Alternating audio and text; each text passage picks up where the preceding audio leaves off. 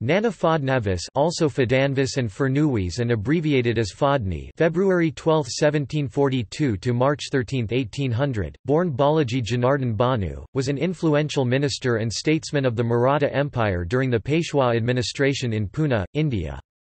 James Grant Duff states that he was called the Maratha Machiavelli by the Europeans.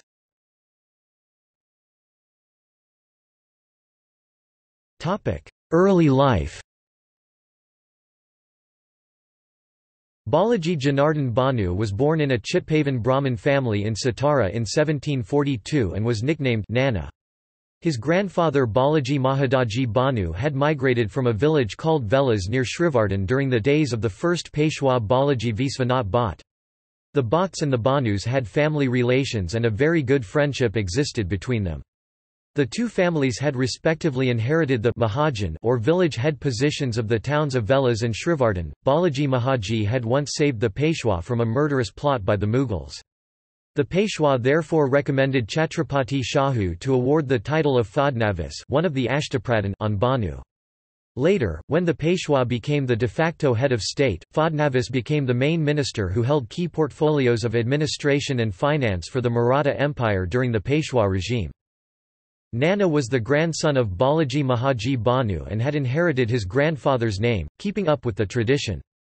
The Peshwa treated him like family and extended to him the same facilities of education and diplomatic training as his sons, Vishvasrao, Madhavrao, and Narayanrao. He continued to be the Fadnavis, or the finance minister, for the Peshwa.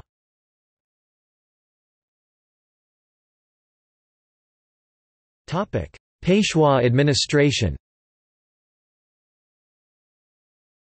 In 1761, Nana escaped to Pune from the Third Battle of Panipat and rose to great heights, becoming a leading personage directing the affairs of the Maratha Confederacy, although he was never a soldier himself. This was a period of political instability as one Peshwa was rapidly succeeded by another, and there were many controversial transfers of power. Nana Fadnavis played a pivotal role in holding the Maratha Confederacy together in the midst of internal dissension and the growing power of the British East India Company. Nana's administrative, diplomatic, and financial skills brought prosperity to the Maratha Empire and his management of external affairs kept the Maratha Empire away from the thrust of the British East India Company.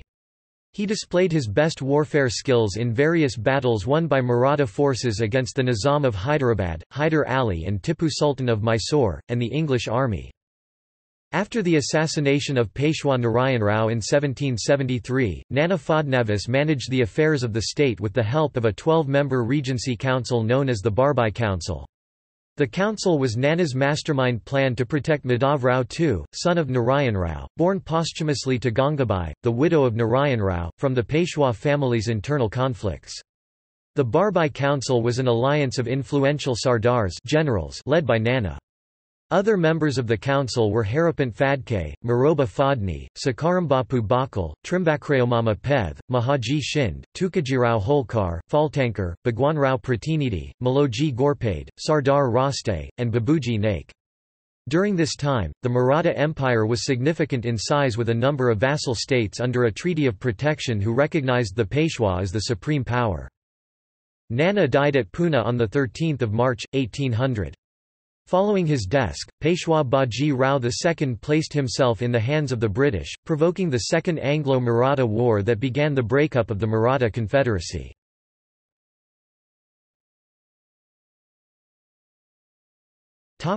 Stately residence at Menavali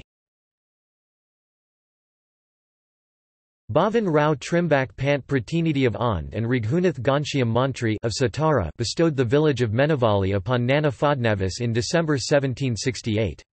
Nana Fadnavis settled the village and built a Wada a mansion with inner courtyards, a ghat steps leading from the mansion to the Krishna River, and two temples, one dedicated to Lord Vishnu and another to Menesvara Lord Shiva.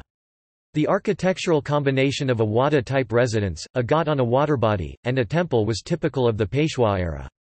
However, most of these palatial structures fell into disuse and disrepair after the lands and estates of the owners were taken away by the government after India became a republic in 1947.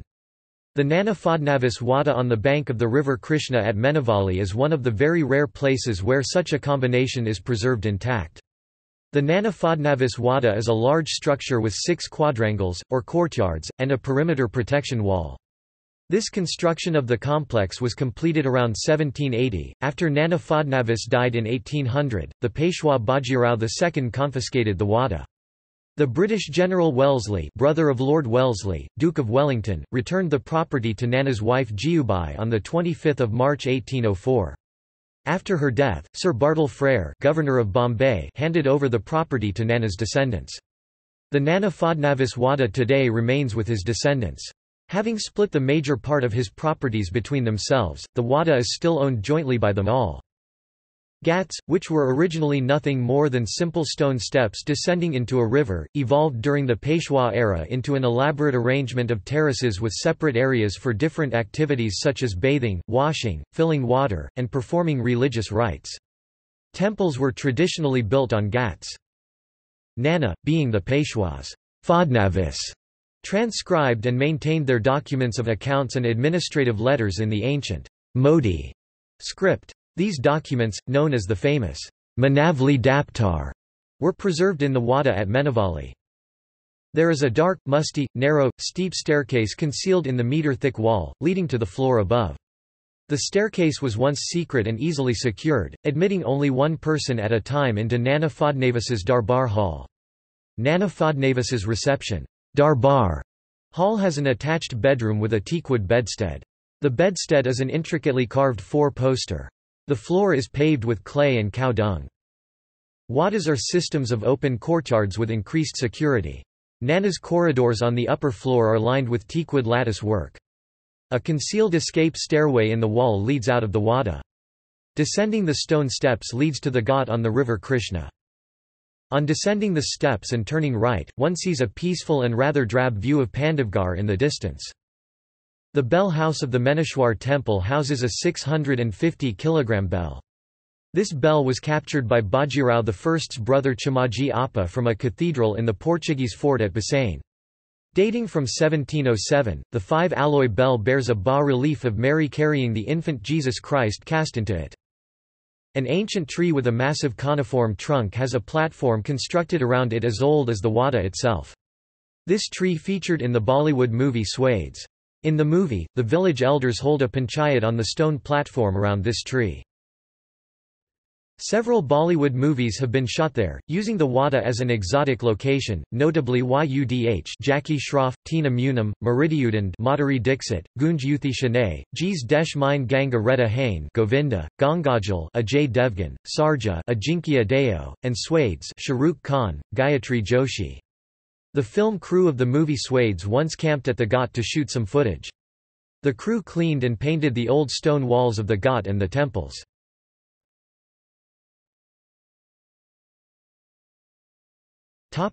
External links Nana Fadni and the External Affairs of the Maratha Empire by Y. N. Deodhar, Popular Book Depot, 1962 Topic Notes This article incorporates text from a publication now in the public domain, Chisholm, Hugh, ed. 1911. Nana Farnavis. Encyclopædia Britannica. 19 11th ed. Cambridge University Press. p. 160.